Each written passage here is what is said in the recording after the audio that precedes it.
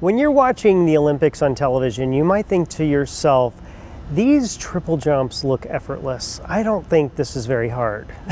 let me tell you, it's tremendously difficult and it takes years and years of practice training to get your body into the most efficient air position so that it can rotate three or four times in the air and then land on that little edge. So, so when I see a figure skater uh, executing a daring move, pitching themselves backwards, I'm amazed as a neuroscientist because what I think of is how is the figure skater able to prevent themselves from pitching forward? So when you or I slip on ice, we fall backwards and we immediately pitch ourselves forward. This is because of automatic hardwired reflexes. So what a figure skater somehow learns to do is to suppress those reflexes. And we believe what's happening when a figure skater practices their daring moves over and over again is that they're rewiring circuits in a region of the brain called the cerebellum. It's at the base of the brain.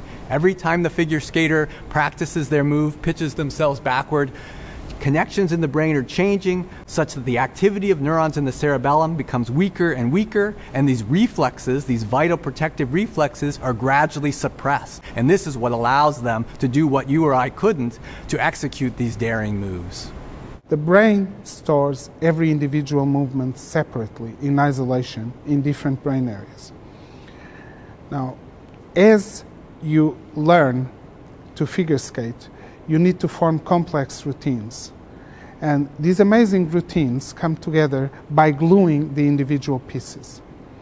The basal ganglia, an area that is in the middle of the brain, connects to all these other brain areas that have the individual pieces. And rewiring of this brain area allows you to form now a complex sequence of movements.